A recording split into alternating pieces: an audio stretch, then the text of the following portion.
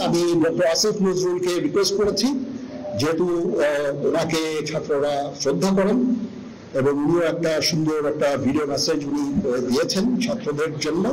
এখন ছাত্রদের কাজ হচ্ছে যে শান্ত হওয়া এবং আমাদেরকে সাহায্য করা।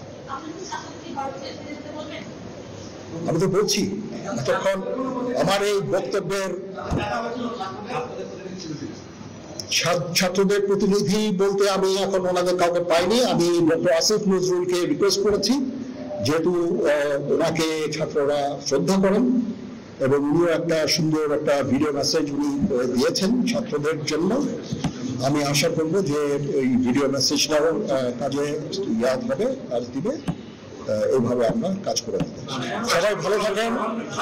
সবাই ভালো থাকেন সবাইকে ধন্যবাদ। এখানে আপনারা যত প্রশ্ন করতে থাকবেন আমাকে দেরি করাবেন।